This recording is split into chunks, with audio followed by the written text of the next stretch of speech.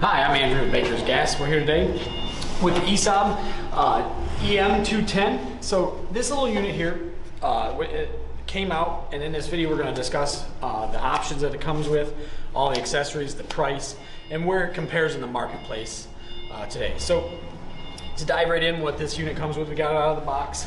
Um, came with gas hose, Tweco ground clamp, um, a Tweco MIG gun, the adapter cord to go to 220 or 110. So we have it plugged in to uh, 220 right now, and then this is just the adapter cord for it. Comes with an extra drive roll, V-knurl drive roll, and then a spool of wire. You get a couple extra contact tips, some O-rings for your MIG gun, and the instruction manual, and then just a quick setup guide on how to go. And it also comes with a Victor regulator, so for your uh, inert gas 7525. So to jump into the features on this unit, um, so th- this is going to compete in the marketplace of uh, in a competitor at the price point that it's at. So it's roughly one thousand ninety nine dollars. So at that price point, it's going to compete with uh, machines from other suppliers such as like Harbor Freight, that sort of thing. So th- this is getting into the market, but it still stands behind it. Um, ESAB does three-year warranty on this unit, so if anything does break, it's still under warranty. So to jump into some of the features on the front, we'll turn the unit on. What I want to show everybody on the back of this thing, so you can see we have the on-off switch here, got our cord, but notice the, the selector switch for the, what voltage we're running. So we're hooked up to 230, and then you can flip it up to 120 if you're going to go to 110. So it doesn't have an auto uh, feature where it recognizes the voltage, but it has a manual feature. So you got to remember to do that now just to show you what it does. So if we flip that back around, we got our voltage and our wire feed speed, but if I take that little switch and go to 120, we're gonna get an error code. So I flipped it up to 120 now. It knows that there's not 120 hooked to this machine, so it's saying there's an error somewhere. So we flip it back down, comes right back on. So kind of a unique thing to this, but that's what made it fall into this price point because it didn't have that technology to auto recognize the voltage. I don't see a big deal with it. I think it's actually pretty cool. You just have to know which voltage you're running. So, so to jump into some of the features, so we've got our regular. It's an LCD display, nice, clear, crisp green display. It's it's it's very nice. Um, then we have our voltage adjustment, wire feed speed, amperage adjustment. Now this unit is just a MIG unit only, but we can put a spool gun on it and run aluminum spool gun with this unit as well. Um, so to jump into some hidden features, push and hold that button down. Well, now we got our run-in value, which is factory set at 50. We have our pre-gas flow, which is at 0.2. That's for our, our pre-gas on our MIG gun. Oh, now it'll time out on that, so you saw that happen. We have our burn back, 0.02, and that's just factory set. We're gonna leave it all at that. Then it's timed out again, hold on. Then we have our post-gas flow, so it's 0.5, that's factory. And we'll just leave it all at that as well. And then jump over to this button here, push and hold. It's going to give our inductance, which is factory set at 5. And inductance is just the, the rate at which the machine is burning back the wire um, as it's coming out. So uh, it's just a nominal setting on the 5, but it goes up to 9 and down to 1. We're going to leave it at 5. Hit that button again. We get our trigger. So we got a 2-tap trigger or 4-tap. So it's actually just trigger hold. So 2 taps you pull it and, and it's well, and then when you let go it does it well. If you go to a 4 4 tap trigger, you hit the button, that's two, and then it welds, and you, to shut it off, you gotta hit the trigger again one more time. So, just some of the different features on that unit. Uh, we'll get out of that menu here. It'll time out. So let's get some wire in this thing. We're gonna weld with it today. Um, I'll get it all hooked up here. So to jump into the side panel here, um, label down there, open, close, just pull down, door opens. Uh, we're gonna get the MIG wire in there set up. So, uh, gives you a nice chart on the inside, telling you what mild steel, stainless steel, aluminum on the spool gun only.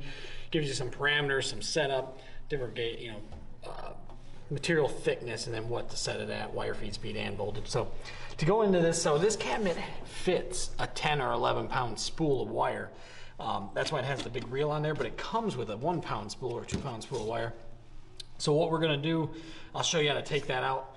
Um, take this big spool off. So what you do is take that wing nut, off. And then you just pull that out. Now there's a series of parts that come on there. So that just comes right off there. But you notice this is slotted. These washers are have a, a keeper key already built in there. So they only go on one way. But how they go is we washer, spring, washer. So washer on the back, spring in the middle, another washer on top of the spring, and then the wing nut goes against one of the washers. So just just so it lays out for you, just to give you a good picture. Pop that wire in there. Then what we do is put that back on, washer, spring, washer. We'll put the wing nut on there. So there you go. Now you're set up with the AristoRod. Now this is a bare wire, um, bare MIG wire, so it's not copper coated, um, but it runs pretty darn good. So we're gonna, I'll get this all cut. We'll get it fed through there. But just on the inside, just to touch on the, you got the drive roll system. You got your tensioner there. Pop it down. It's on spring loaded. Pops up, and then change out your drive rolls. It's really pretty simple. Take that off and then the drive roll just comes out. Now notice this is slotted as well, so it only goes on there one way. Then goes back on there. Pretty simple. So, and it's got gas solenoid, as we know, because we got the gas hooked up over here. So let me pull that out and we'll get the wire going here. All right, so let's give this thing a shot here. 18 and a half volts, 280 inches on the wire feed speed.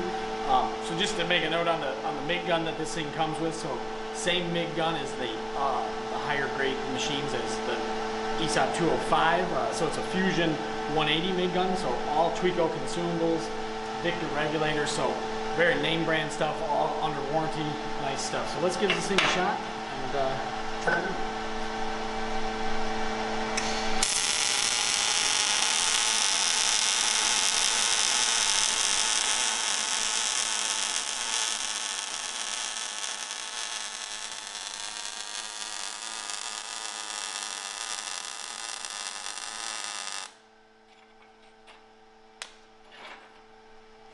Not out that little fill well down. Pretty nice. Welded real nice, real crisp. Um, let's just try some. We had a lot of spatter, so let's just turn our inductance up to nine here. We were at five. Give it a shot.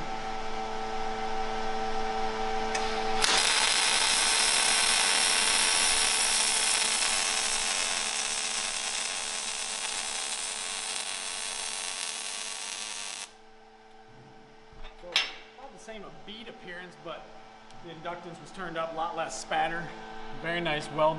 For the machine and for the, the price point, boy, it welds really nice. Now, um, now you will notice though the fan, it doesn't intermittently cycle, so it's on all the time. So that's not a problem, that's standard.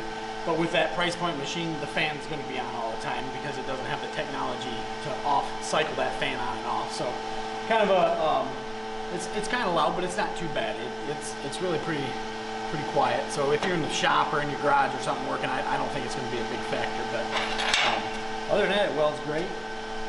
We, uh, so this unit at the price point of 1099. Now they do make an EMP, which is a multi-process unit, so TIG and stick. Uh, stay tuned for another video on that. That's coming up. Uh, but I'll link it all below. Um, so all the consumable kits, because they're going to be the same as what the Rebel would have, right? Because it's all the same consumables, contact tips, nozzles, diffusers, everything like that. So we'll link all that stuff below. Um, some of the cons on this unit are that at, on 110, we're on 220 obviously, so we're going to get 210 amps. That's our max output on this unit. But if we go to 110, it drops to 140 amps. So we're, we're, we're kind of limited if we're on 110 as opposed, and plus you need a good circuit on 110. So I recommend a 20 amp breaker on 110. Um, to run this thing off a generator, you're going to need an 8800 watt generator, continuous wattage generator to run this unit off a portable generator. Now, it's IP21 rated, so it's not as durable as like say the Rebel 205 um, as far as water resistant or drop resistant, that sort of thing. Um, so it's more of a home hobby unit, but in that price point, man, it welds good. And I, I for the price range, I'd say that's that's really a nice unit.